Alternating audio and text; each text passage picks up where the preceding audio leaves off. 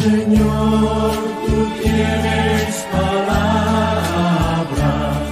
palabras de vida eterna.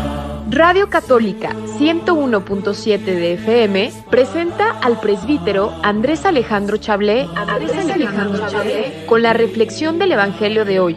Escuchemos, una estrella que ilumina tu camino. Shalom, hermanos y hermanas, bienvenidos a este martes 14 de junio del 2022. Del Santo Evangelio según San Mateo. Gloria a ti, Señor. En aquel tiempo Jesús dijo a sus discípulos, han oído que se dijo, ama a tu prójimo y odia a tu enemigo. Yo en cambio les digo, amen a sus enemigos. Hagan el bien a los que los odian y rueguen por los que los persiguen y calumnian, para que sean hijos de su Padre Celestial, que hace salir su sol sobre los buenos y los malos, y manda su lluvia sobre los justos y los injustos.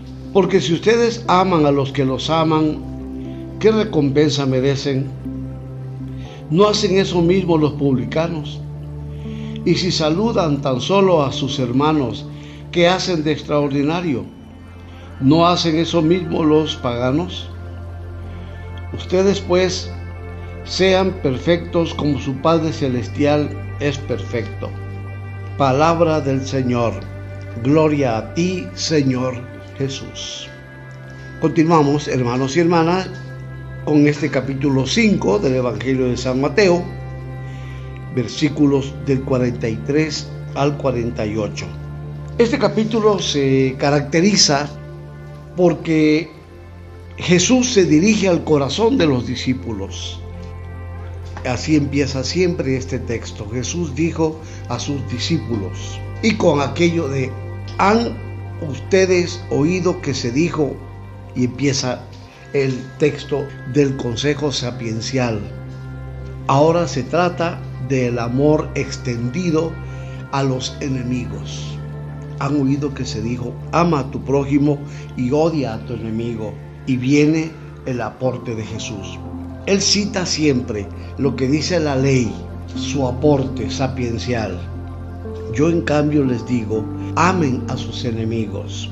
Hagan el bien por los que los odian y rueguen por los que los persiguen y calumnian, para que sean hijos de su Padre Celestial, que hace salir su sol sobre buenos y malos el tema del amor, extendido a los enemigos, a los que nos han hecho daño, a los que quizá no nos aman, nos aborrecen, nos odian, nos han rechazado, nos han hecho algún daño, nos han causado algún dolor, algún mal.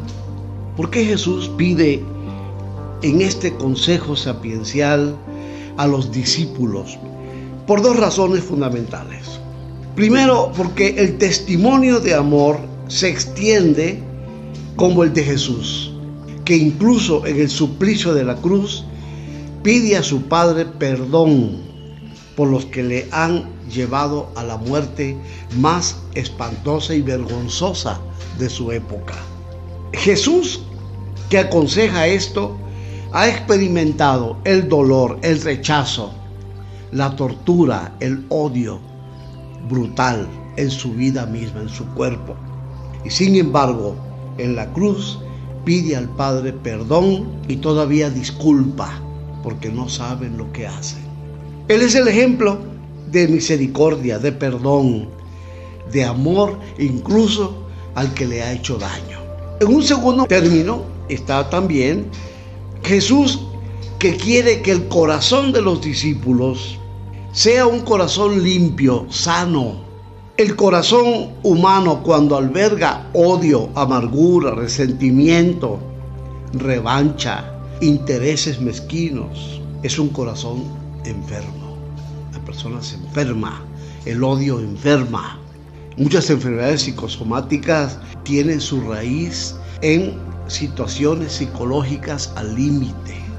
Personas que viven de lo negativo, que guardan, que albergan, que embodegan sentimientos negativos en su corazón y terminan por envenenarse toda la vida.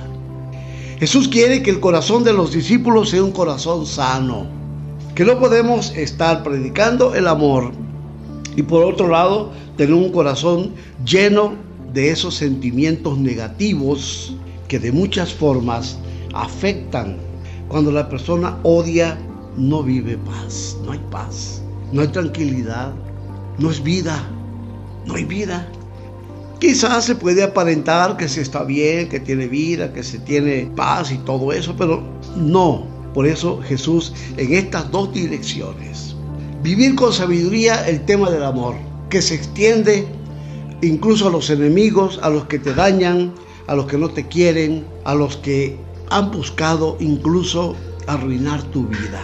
Y muchas veces eso es también por el aporte subjetivo. La persona se arruina la persona se daña no porque otro lo dañe exactamente, sino porque cree que le han dañado. Eso va creando un entorno psicológico, un entorno moral que la persona asume negativamente. Por eso Jesús dice, el remedio para estas situaciones de vida es el amor. Amén. Perdonen. La salud espiritual tiene que ver exactamente con sanear el corazón de sentimientos absurdos que a veces andamos arrastrando y muchas veces toda la vida. Shalom, hermanos y hermanas, hasta el próximo comentario. Señor, tú tienes palabras,